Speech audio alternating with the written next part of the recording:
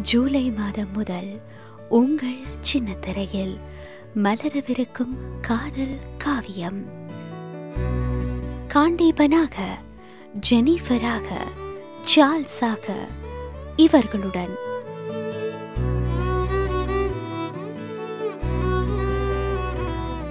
ஒரு காதல் காவியம். காணத்தவராதீர்கள். சனி ஞாயிறு இரவு எட்டு முப்பதற்கு. இது என்ன மாயம்? அஞ்சாமல் நீ வாழு தினம் இன்பம் அதில் சேரு. அன்பே வாழ்வின் சுவாசம் போலவே